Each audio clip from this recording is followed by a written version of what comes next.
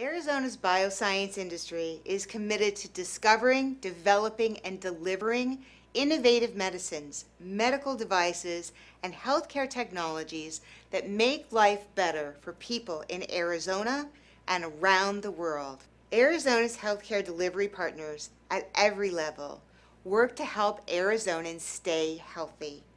provide high quality care to patients when health challenges occur, and partner with our research community to develop even better health solutions in the future. Arizona's investments into our private and university-based research centers are creating a triple benefit by developing solutions to improve health while creating learning opportunities for our students that prepare them for the high-quality jobs this industry creates.